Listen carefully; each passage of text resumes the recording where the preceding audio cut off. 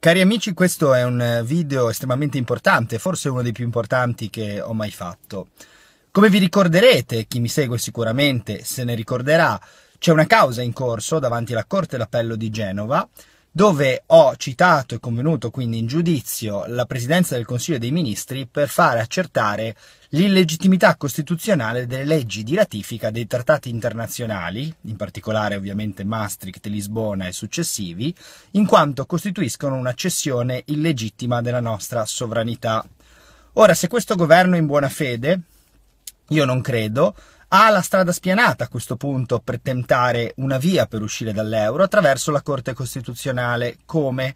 La causa è già pendente, la Presidenza del Consiglio dei Ministri, in allora ovviamente non era il governo Conte ma i suoi predecessori, si erano difesi attraverso l'avvocatura chiedendo il rigetto della mia domanda, sostenendo che la sovranità non è ceduta e che in ogni caso i trattati europei sono stupendi e vanno benissimo. Bene, ora l'avvocatura di Stato di questo governo, del governo Conte, può dimostrare la propria buona fede, quindi il governo può dimostrare che vuole davvero, come dicono tanti sovranisti che parlano di strategia, lasciare l'euro, cambiando le difese in questo giudizio. Basta semplicemente in questa causa dire l'avvocato Mori ha perfettamente ragione, i trattati costituiscono illegittime cessioni della sovranità, andiamo in Corte Costituzionale perché le leggi di ratifica sono illegittime.